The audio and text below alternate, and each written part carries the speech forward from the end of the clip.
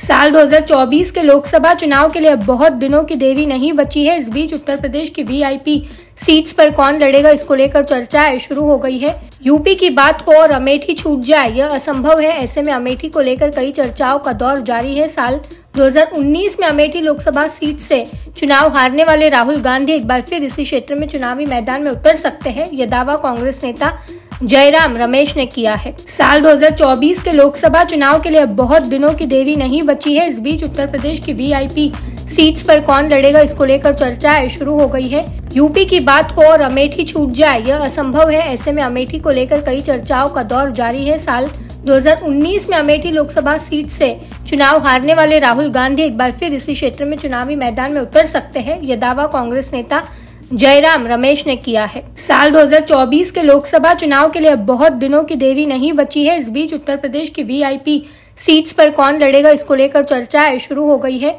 UP की बात हो और अमेठी छूट जाए, यह असंभव है। ऐसे में अमेठी को लेकर कई चर्चाओं का दौर जारी है। साल 2019 में अमेठी लोकसभा सीट से चुनाव हारने वाले राहुल गांधी एक बार फिर इसी क्षेत्र में चुनावी मैदान में उतर सकते हैं। यह दावा कांग्रेस नेता जयराम रमेश ने किया है।